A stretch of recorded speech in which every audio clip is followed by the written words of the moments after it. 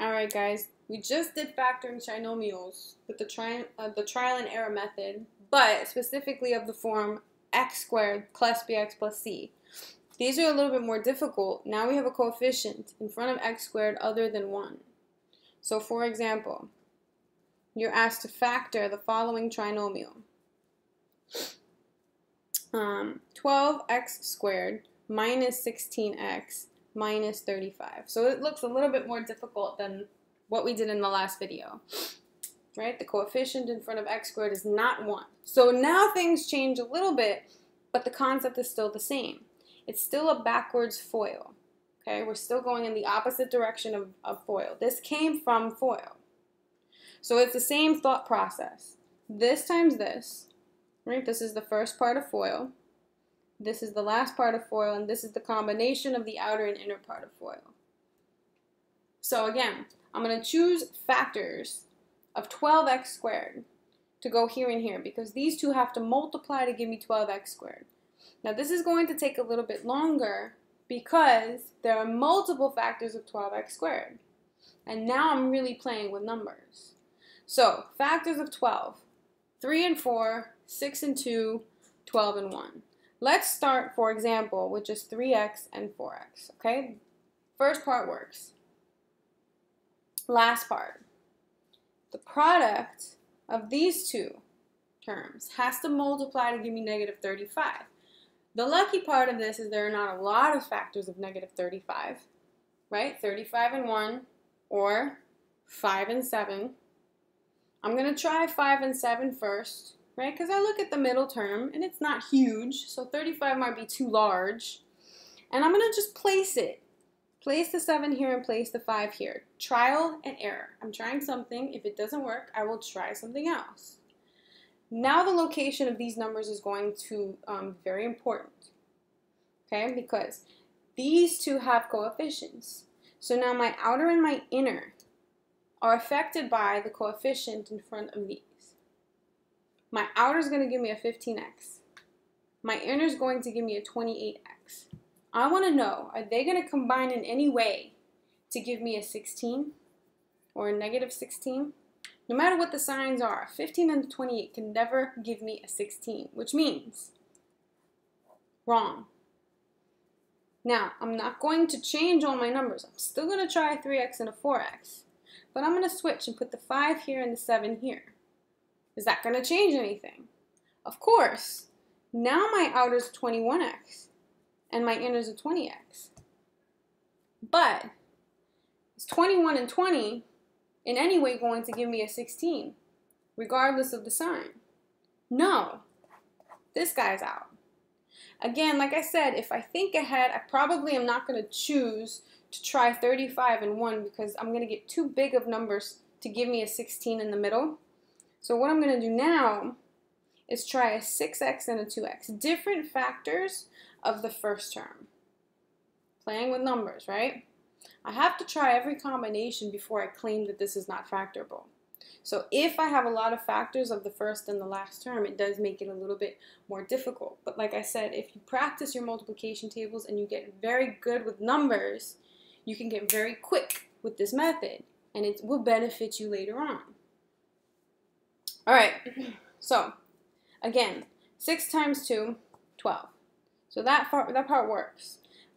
I'm going to try 7 and a 5, but I'm going to think ahead. Where would I put the 7 and where would I put the 5? If I put the 7 here, I'm going to get a 14.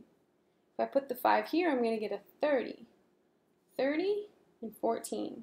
Sounds good to me because I could get 16. 7, 5. Here's my check. Outer is 30x. Inner is 14x. A 30 and a 14 can give me an, a 16 depending on signs.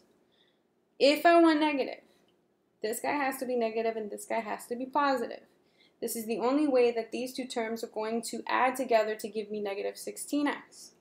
Negative 30x plus 14x is negative 16x. Where did the negative 30 come from? The outer. So this has to be negative, right? So now 6x times negative 5 is negative 30. But this guy has to be um, positive. Where did the positive 14x come from? The product of the inner. this should be positive. Check it. 6x times 2x is 12x squared. That works. My last terms. Positive 7 times negative 5 is negative 35. That works. Outer and inner combined, negative 30x plus 17x, sorry, plus 14x, will combine to give me negative 16x. That's what I wanted. This guy's factored. So sometimes, of course, we don't choose the right numbers initially, but that's okay. Trial and error. Again, I'm thinking ahead, I'm trying to think ahead. Okay, if I put the 5 here and I put the 7 there, is that going to give me what I want? See if you can play with numbers before you place them. Here's another one. Um, let's do this one. 10x squared plus 23x minus 5. Let's factor it. I want the bubbles. Signs are different. Pay attention to my signs. The nice thing about this one is that there are only two factors of 5, a 5 and a 1. So I don't have a choice. 5, 1, or vice versa. I don't have any other factors of 5. But I do have multiple factors of 10. 5 and 2, or 10 and 1. Well, because we're dealing with certain numbers, let's try a 5 and a 2. Now, think about where I would put the 5 and where I would put the 2. I'm going to write this out. If I put the 5x here and the 2x here, I get a 5 and a 10. Is a 5 and a 10 going to give me 23? No. 5, uh, 5, oops, sorry guys. Um, what did we put? We put the 5 here and the 1 here. So now, switch it. 2x and 5x. Is this going to work? 2 and 25. 2 and 25 is going to give me 23. If the signs work, who's positive, who's negative? I want this guy to be positive. So I want the bigger number to be positive, and I want the smaller number to be negative. Now, of course, I want to check my numbers and check my signs before I claim that this is done. Positive 2x times positive 5x is positive 10x squared.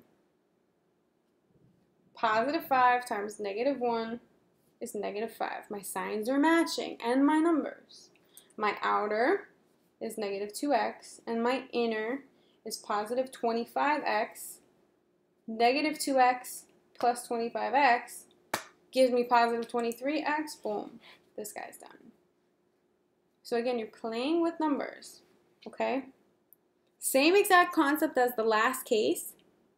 It's just that now, being that you have coefficient in front of x squared, you have a little bit more effort and you need to be a little bit better with your, um, with your numbers. Okay, here we'll do one more. We had a 12 and a 10. Let's do, how about this? Factor the following trinomial. 24x squared plus 22x plus 3. Oops. 24x squared plus 22x plus 3. Oops. Let me clear that up for you guys. 24x squared plus 22x plus 3. I want to factor it. The nice thing about this one, again, is the last term only has two factors of it. The first term, though, 24 has a lot of factors. But either way, it's got to be a 3 and a 1. And actually, being that these two have to multiply to give me positive, they're both positive or both negative, but what do you think? Are they both positive or are they both negative? They're both going to be positive because the middle term is also positive. And of course, if I can't recognize that now, I'll check it again, verify at the end, make sure that I'm right. Okay, I have to play with numbers now. 24. How many factors of 24? We have 12 and 2. Oops. 12 and 2. 8 and 3. 6 and 4. 24 and 1. We have a lot. So let's just play. Let's say that we try 8x and a 3x first. Does that work? Well, hopefully you guys are thinking ahead. I get an 8 and a 9. 8 and 9 is not going to give me 22. Wrong. 3, 1. What if I switch 3x and 8x? I'm going to get a 3 mm, and a 24. No way. Not going to give me 22. So I actually tried every combination of the 3 and 1 with the 8 and 3 in both directions. So what am I going to change? I'm going to change the factors of the first term. If I think ahead, right? 12 and 2. If I put a 12 and a 2, 12 is going to give me, see if you could visualize this. If I put a 12 here and a 2 here, 12 and 6, right? If I put a 12 here and a 2 here, a 12 and a 6 won't give me 22. I'm not going to try that. I'm not even going to write it down. If I put the 2 here and the 12 here, 12 and a 2, 2 and 36 is not going to work. So I'm not even going to attempt 12 and 2 because I'm thinking ahead. When I place those numbers, it's not going to give me what I want. So now I'm going 6 and 4. Where should I put my 6 and where should I put my 4? If I place the 4 here, I'm going to get a 12, right? If I place the 4 here. If I place the 6 here, a 12 and a 6 is not going to give me 22. So let's see. let's try the 6 here. Oops, sorry. The 4 here. Sorry, guys. That's messy. Let me change that. I don't want to be messy. Let's try the 4 here, the 4x, and the 6x here. Okay? Try to keep your work neat so that you, you can always backtrack. 18 and 4. 18 and 4 works if the signs match. Positive, positive means that both of these are going to be positive. I want to verify before I claim that I'm done. A 4x times a 6x is a 24x squared. That works. Positive 3 times positive 1 is positive 3. That works. Outer. And if you need to write it out, write it out. 4x, inner, 18x. 4x and 18x, positive and positive, give me positive 22x. This guy's done. Okay? Keep practicing this.